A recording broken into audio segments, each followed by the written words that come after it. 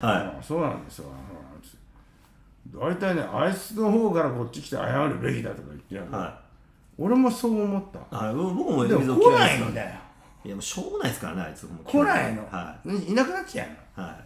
え逃げたってことですか？そしょうもないあいつほんまうでもそしょうもない。んなやつじゃんはい、いや僕大っ嫌いですもん海老蔵俺も大嫌いだよ。ははいもう一つでも好きじゃない海老蔵は俺のこと好きなんだって。あそうなんですか？嘘だと思うんだよね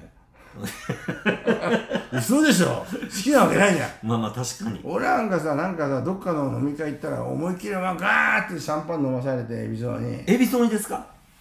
ムカつくなあいあの中村獅童と行ったんだ。はいは獅童と俺と行ったらあのなんだっけあのテイクアンドギブジーズの社長のあ野尻。野尻はが結婚する結婚全や全然全然全然全然野菜みたいなやってて、はいはいはまだやってんのかって言ったらよ可愛いタレントがいっぱいいた。よ、はい。キャンキャン当時のキャンキャンみたいにいっぱいいた。可愛いですね当時のキャンいいキャン。なーと思って座ってたらさ突然なんかどっからなタコニュードみたいなのが来て人の口にシャンパン突っ込んでガーッと飲まされて俺もこれ飲まされて以上全部飲もうと思ったけどさはい。さすがにシャンパンは無理だよね。まあ無理ですよね。炭酸入って飲めないわと思って、はい。わっ出したら目の前にタコが笑ってんだよこっち見て。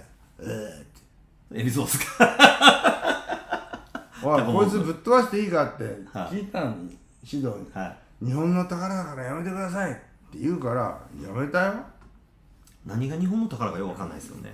宝なんですよ一応。ねでもその後彼は関東連合にぶっ飛ばされた時も、はい。俺もあれさあの時もさ「うん何のこんなこと言って いいですよ。ね今今いい感じですよ今。いやあのね当然だろうなと思ったいやいや僕も思いましたよそらやられ知るわってる人はみんな思うよね、はいめっちゃ思いまあんなことやってたらやられるよ、すやられへんかったがおかしいぐらいおかしいよね、はい。やらいややっぱやられたなと思った、はで事件になってその後そのビルが海老蔵ビルって名前になって。あれ最悪ですよねあのビルのネーミングはほんまに。でこの間海老蔵になって「お前海老蔵ビルって知ってるか?」って言って知らねえって言うんだよ。あタクシーの運転手でも知ってるぞあはい。間違いないです。今時ね誰に言ってもわかりますわ。言いたい放題言って言い過ぎちゃったなと思って健丈さんに「あーちょっと海老蔵にちょっと言い過ぎちゃったんですよ」って言ったら「健丈さんっていい人でさ俺は謝っといてやる」かっこいい。ああすいませんっつって「おい松浦海老蔵お前のこと好きだって言ってた」って言われたら俺も好きになっちゃうじゃん。だわかります。わかります。から全然嫌いじゃない